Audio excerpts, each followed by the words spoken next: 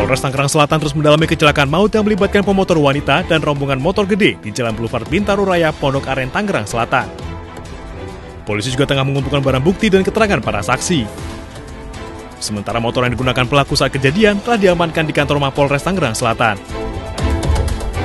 Uh, jelas untuk uh, siapa yang salah atau siapa yang kita tetapkan sebagai tersangka masih dalam proses penyelidikan kita belum bisa memutuskan bagaimana uh, yang jelas kalau memang sesuai dengan rekaman CCTV memang bisa kita lihat di situ sepeda motor Honda Beat-nya sempat berhenti dulu sebelum akhirnya tertabrak oleh rombongan mobil ini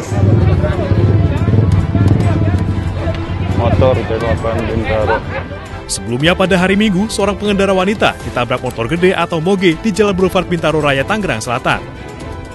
Akibat peristiwa ini, korban yang berusia 49 tahun tewas di tempat.